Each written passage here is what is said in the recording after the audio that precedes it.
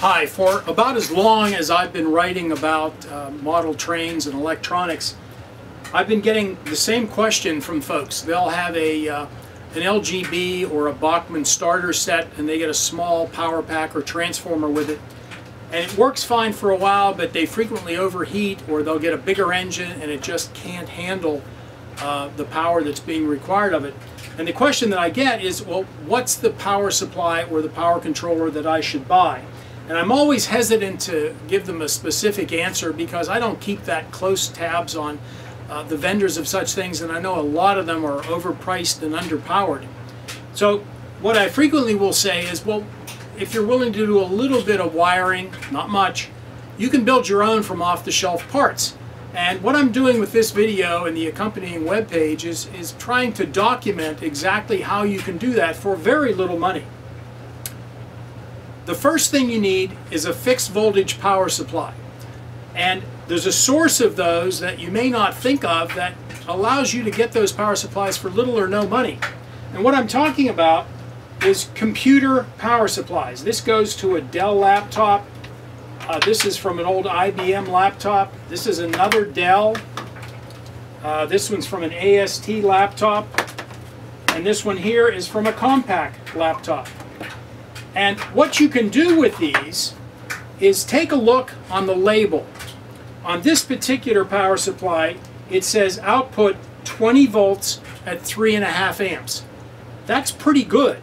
That's more than enough to run any starter set. As a matter of fact, it's more than enough to run most engines.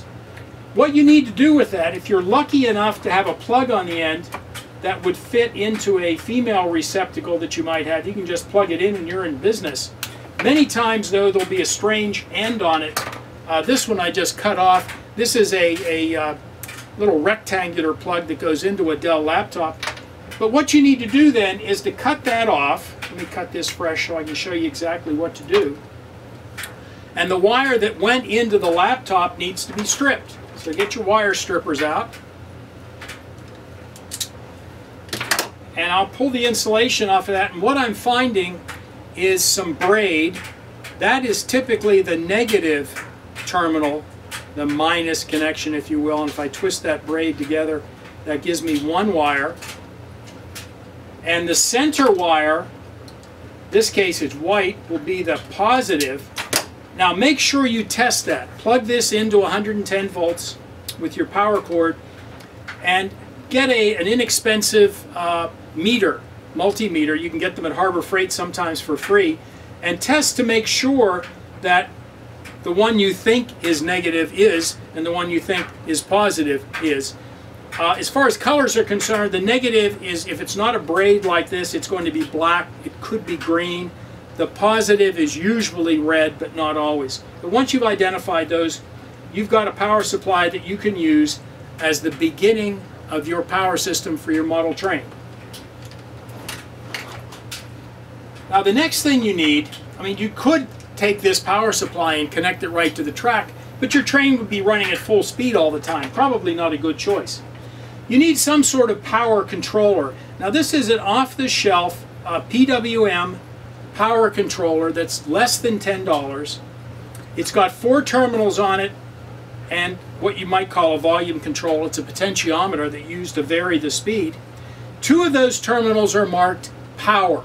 One is marked plus and one is marked minus. Make sure when you connect that up uh, to the cord that we were talking about earlier that the plus goes to the plus and the minus goes to the minus. If you put them in backwards, it may just not work, but in many cases you can damage it. The other two terminals are usually labeled motor, and that's what's going to go to the track. So once you get that hooked up, faster, slower. But there's one thing missing. Here we've got the power control that gives us the speed difference. The other thing that we need is a way to have it go backwards. Most of us like to be able to run our trains in two directions. In order to add direction to your train controller, you need one of these. This is what's called a double pole, double throw toggle switch. And they typically have six terminals. Two in the middle, two on one end, two on the other end. In order to wire that as a reversing switch, you run your power into, let's say, the center two terminals, then you connect the diagonal outside terminals. I've got a wire going from this one to this one, another wire going from this one to this one. That's what does the reversing. And then you can run these wires to your track from either end. It doesn't really matter. We've got power in to the middle ones, power out to the ones on the extremes. Then we need to put it into some sort of enclosure. Now this is a really simple box that I made with my laser cutter. I'll take it apart here for a minute. And inside, there's your double pole, double throw switch with the cross from the diagonal uh, terminals. There's your power controller, very similar to the one that I just showed you, a little bit different. There are a lot of different variations. The big difference on this one is the potentiometer is on three long wires so that I can get it up to the top pretty easily. And on this one, I've got it connected to a power supply. Happens to be this one from an old Compaq laptop. And if I turn the knob clockwise, there we go. I've got speed control.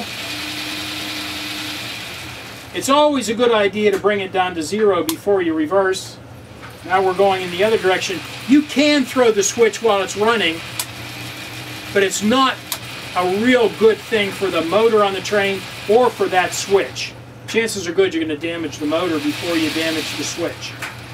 Now there's one other option for power supplies. If you really want to get a lot of power, you can use this type of power supply. This is an open frame computer power supply.